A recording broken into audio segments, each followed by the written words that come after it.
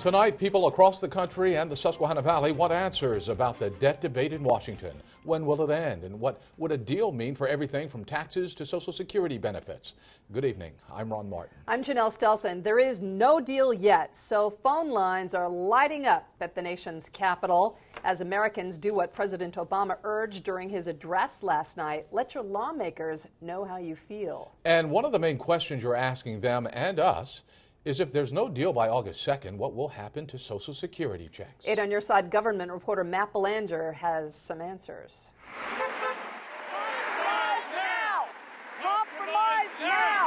Calls for lawmakers in Washington to settle their debt disagreement echoed in the Susquehanna Valley Tuesday. Protesters gathered outside Congressman Todd Platts's office in York County demanding a resolution. What is best for our country, not what is best for just the individual to get reelected.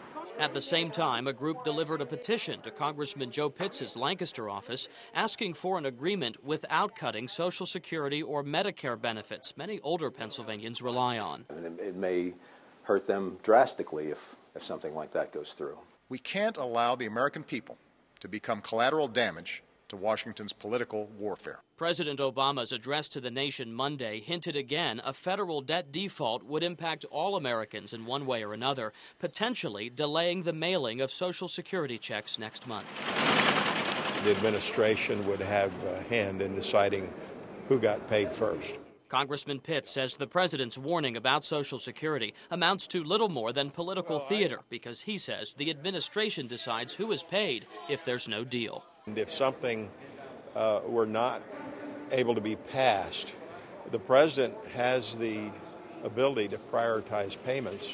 The only reason you would not see Social Security uh, checks go out is if the administration, via the Secretary of Treasury, decided not to prioritize Social Security payments uh, ahead of other uh, bills that were going to come due. Uh, and um, I cannot imagine that happen. It certainly should not happen. Democrats offered a more optimistic outlook. We need to find a way to come together so we do not come into default. Hopes Congress and the president can strike a deal in time. Um, I still think there's a willingness on the part of uh, folks on both sides to reach an agreement here. So, when it comes to whether your Social Security checks will be late if there's no deal in this debt debate, that appears to be the president and his team's call. Meanwhile, Republican Senator Pat Toomey took a more serious tone, saying today the possibility of a government default is looking more and more likely, and, quote, it is absolutely essential the federal government have a plan to prioritize payments that must be made. So, that's the latest from the Susquehanna Valley's congressional delegation. Ron, back to you. Very good. Thank you, Matt. Now, here's the latest on the debt debate from Washington. House Speaker John Boehner's trying again to gain support for his plan. However, fellow House Republicans say they can't support it because it doesn't cut spending enough.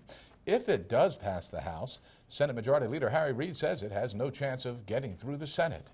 And even if it does, the White House is threatening a veto because it would only raise the debt limit temporarily.